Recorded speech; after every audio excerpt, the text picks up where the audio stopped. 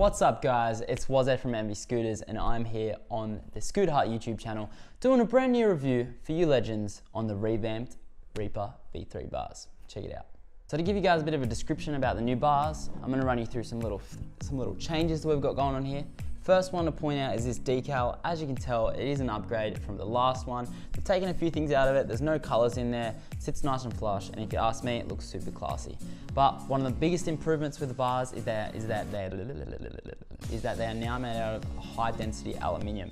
So what that means, literally, they've gone out there. They've got better metal.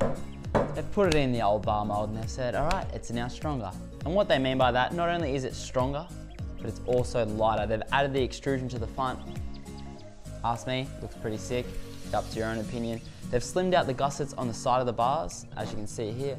I know a lot of people had some issues with cutting themselves and stuff like that, so they've smoothed them as well. Honestly think it's a really neat finish, but like it always is, guys, up to you down there. You can vote in the polls if you think they're better than the V2s, but let's get into some specs. All right, so to get on with the boring stuff and talking and whatever else, I'm gonna run you through some of the improvements. Now, the biggest ones to take into account, they've changed the material. They're now made out of a high density aluminium. So pretty much what's that mean? They're just stronger. You don't really care about that. But for all you guys out there that really like to know what goes on behind the bars, that's the biggest difference. From there, they've gone, they've thinned out the gussets here on the side. They've added this extrusion to the front, which is gonna make it lighter once again. And then they've added this epic new decal to the front, keeping it monotone, black or white across the color ranges. You know, it's gonna look really classy on your scooter.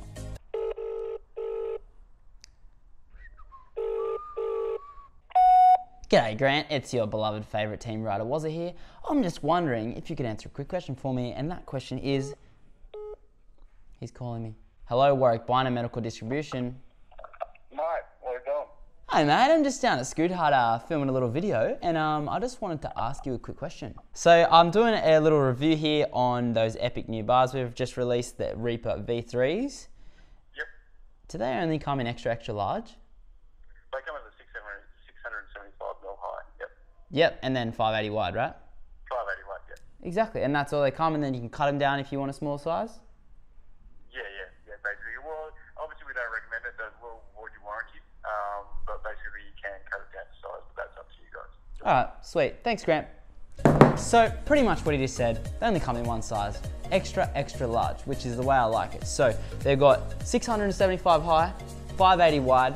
You can cut them down to your side, but here at Scooter Hut and worldwide, it does void your warranty. So if you do choose to do that, know that before you do it. But if you want to cut them down and you don't have someone at home that can do it for you, head into your local Scooter Hut store or put it in on the website and they'll cut them down for you. So these bars are compatible with both IHC and SCS compression. If you do want to run the SCS though, you have to get a little converter, slide the shim up there, and away you go. They are not compatible with HIC. They are not, I repeat, not compatible with HIC. But why run that when you can just run the Envy compatible ones, IHC, you know, get around it. I love them, you love them, we all love them.